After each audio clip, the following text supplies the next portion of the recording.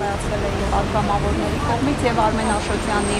կալանքը երկարաձգվեց եւս 3 ամսով։ Սպասելի էր այս ամենը ձեզ համար թե ոչ եւ առհաստարակ ինչու է Արմեն Աշոտյանը այսքանից հետո պահում կալանքի տակ։ Մենք գիտենք, որ հանրության շրջանակներում հայտնի է, որ Նիկոլ Փաշինյանի կողմից ուզուրպացված դատա իրավական համակարգը իրականացնում է միայն Նիկոլ Փաշինյանի հրամանները հանդիսանալով գործիք Սիգոր Փաշինյանի ձեռքում գործիք լրացնելու ազգային գործիչներին եւ իհարկե մենք չենք կարող ակնկալել դատաիրավական համակարգի Նիկոլի ծառաներից որ նրանք կարող են արդար որոշումներ կայացնել։ Այսինքն սпасելի է։ Այլ բան է, որ դատաիրավական համակարգում ինչպես այլ օղակներում կան մարդիկ, ովքեր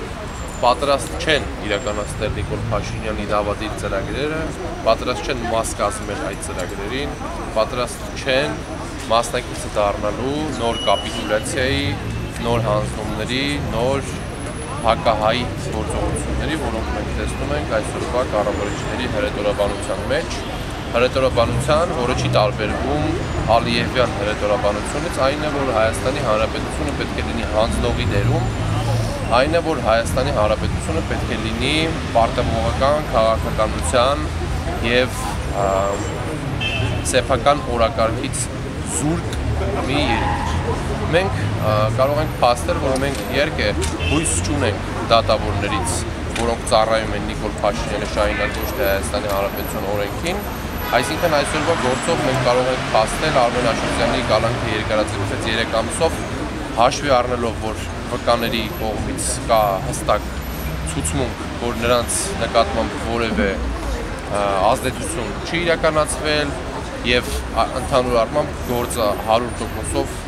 շինցու գործ Մենք տեսանք նաև այն միասնականությունը, որը ցուցաբերեցին խորհրդարանական ընդդիմության ներկայացուցիչները, այսինքն ընդդիմության ողջ կազմով երկու պարլամենտական խմբակցություն եկան եւ երաշխավորագրեր ներկայացրեցին Արմեն Աշոտյանի խափանման միջոցի փոփոխման վերաբերյալ, բայց մենք տեսանք, որ Հայաստանի Հանրապետությունում չկա արդարություն, չկա խոսքի ազատություն եւ կանոնավորվում են այն մարդիկ, ովքեր խոսում են Հայաստանի Հանրապետության հայկական ապագայի մասին, ինչպես խոսել է խոսում է եւ խոսելու է Արմեն Աշոտյանը։ Մենք ուզում ենք ասենք, որ մարդկանց կալանավորելով նրանց հնարավոր չի լրացնել եւ մենք ասել ենք, ասում ենք եւ ասելու ենք ճշմարտությունը, ճշմարտություն, որը բացում է Հայաստանի Հանրապետության քաղաքացիների աչքերը, ճշմարտություն, որից վախենում է Նիկոլ Փաշինյանը եւ այդ ճշմարտության արդյունքում է, որ Արմեն Աշոտյանը այսօր անազատության մեջ է։ Նիկոլ Փաշինյանի իշխանությունից հեռանալուն պես է հնարավոր հույս ունենալ, որ արդեն կձևավորվի ճիշտ մոտեցումներով դատաիրավական համակարգ, արդեն կվերականգնենք այն անվտանգային բացերը, որոնք կան այսօր եւ կվերադառնանք մինչև 2018 թվականի իրավիճակին, որ Հայաստանի Հանրապետությունը տարածաշրջանում գործունեություն հանդիսանում եւ Արմեն Աշոտյանը այդ Հայաստանի Հանրապետության ներկայացուցիչն է։ Շնորհակալ